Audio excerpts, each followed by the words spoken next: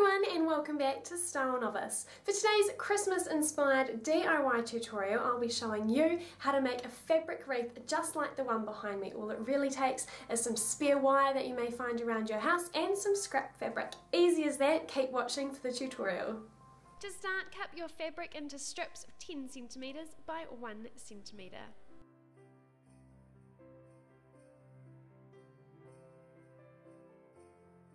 All we're doing is simply tying a single knot around the wire. Now if you are using some kind of wreath template that is wider or thicker, you may need to make longer strips.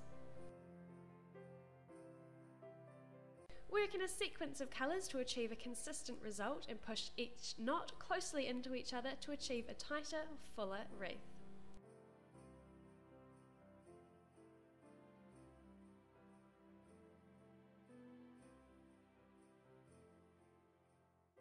Once completed, tie one end with ribbon so you can simply hang it on a door or on a wall.